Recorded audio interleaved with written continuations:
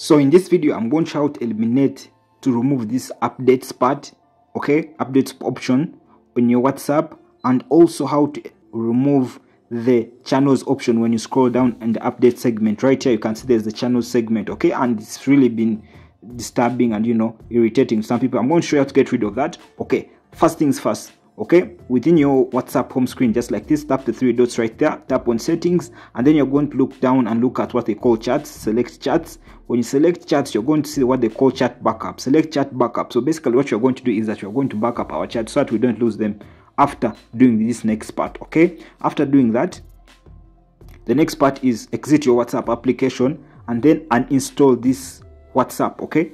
Uninstall it. You can decide to uninstall using the normal way like this and then you press ok and install the application okay? Do that okay? And please make sure you subscribe to our youtube channel for more tech tip tech tips tricks. After doing that go to your google go to your google chrome and search for whatsapp apk whatsapp version.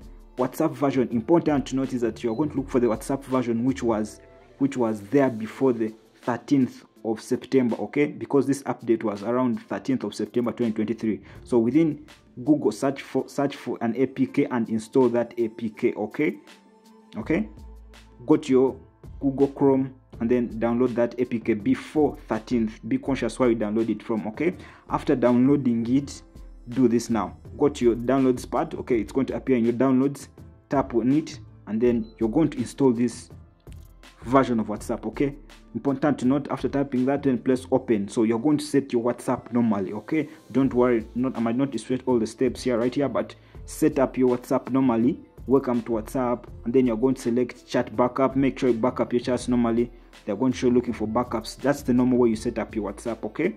After doing that after doing that you just basically normally set it up like that like they always do put your profile information and all that then tap next and shows you initializing as being shown in a screen. Now after that after opening you notice that now right now the updates part has disappeared and there's the status option right there in the middle. You can see right there. So when you tap on the status option when you tap on the status option you no longer you notice that the updates update channels segment is no longer available okay?